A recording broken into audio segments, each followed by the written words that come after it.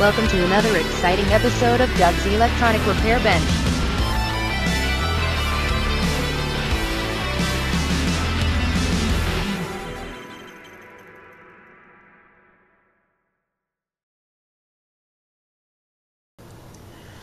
Well, afternoon, YouTube. Here we this afternoon to uh, show you a little item I got in the mail today.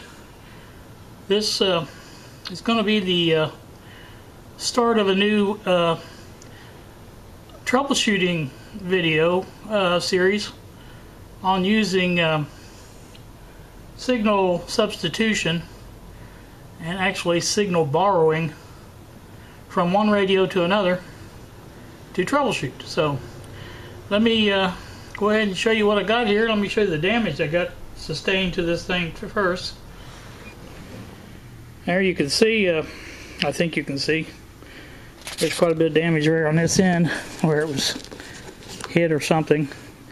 Uh, I don't know that that's damaged anything on the inside, but it may have. You never can tell. So, definitely all the way through. So, well, let me go ahead and get this open. We'll show you what it is. Now you can see packing is a little on the minimal side, but uh, that's uh, not a sign that it's going to be damaged either. So let me go ahead and get it out and see a look. Take a look at it.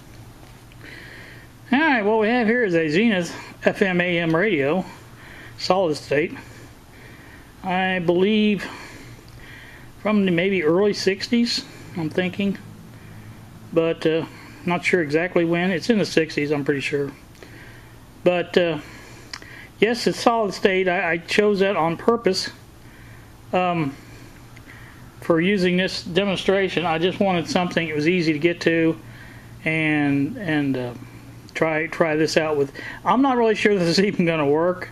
This is something I'm just thinking might be a good way for people that don't have a uh, signal generator or tracer, either one really, to uh, troubleshoot radios if they've got another radio. Uh, so, like I said, that's I'm gonna get too far into that, but that's what I want to use it for. It definitely needs some cleaning. This uh, this is supposed to work, so we may give it a shot here in a bit and see see if it does in fact work. We have to stop thinking that retirement begins at some Yeah, you can hear it does work. like 65 or 70. This is AM, I think. begins when you have enough money to enjoy the lifestyle you.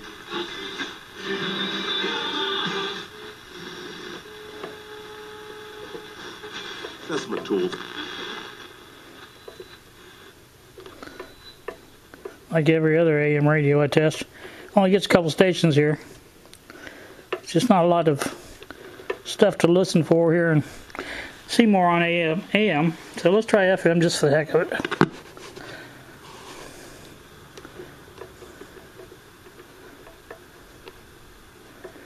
I don't hear anything at all on FM.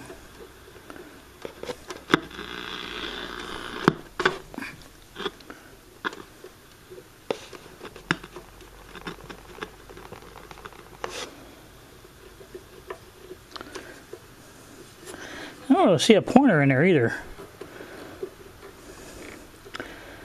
Tuning capacitor seems to be turning, but I see any indicator at all for the pointer.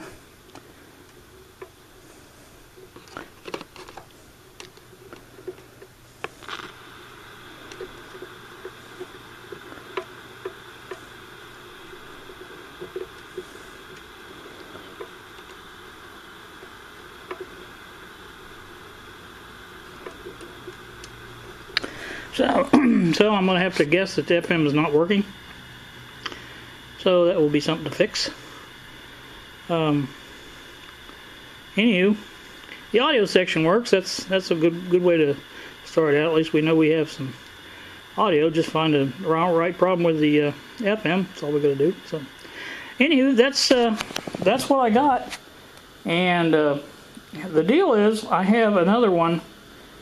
Uh, I'm gonna put the ad up for this one. I give gave six dollars and something plus shipping.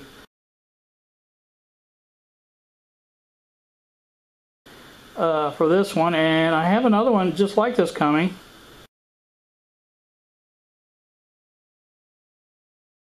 And it it also included a uh, older GE radio.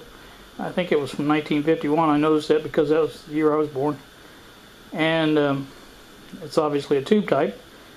And uh, I, I I know exactly what what it is and everything, so I'll, I've got the uh, schematic for it too. But um, like I say, more importantly, the uh, one that's just just like this one here um, doesn't work. It says it doesn't work. So um, I'm going to try to take a signal from one and inject it to the other radio and see if I can get this thing to work that way. So this will be interesting, I think, to follow along with. And uh, if if this works out, then like I said, people that don't have signal generators and uh, signal tracers, any other kind of test equipment like that, can actually use another radio. And it doesn't have to be solid state or two. I mean, it can be a mix because the way we do it, it's going to be completely. Uh, there's going to be no DC connection between the radios. So, anywho, let's. Uh, I'll get get done with this and get back to what you're doing.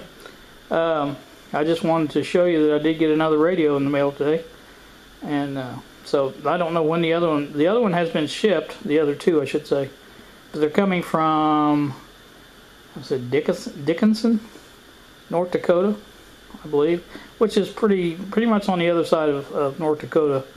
So on the west side, I should say. So anyway, that's got a got a ways to go before it gets here, and uh, I think they're saying Wednesday on the 11th is when it's uh, when it's supposed to maybe be here. So we shall see. Anyway, you guys have a great day. Thanks so much for watching. See ya.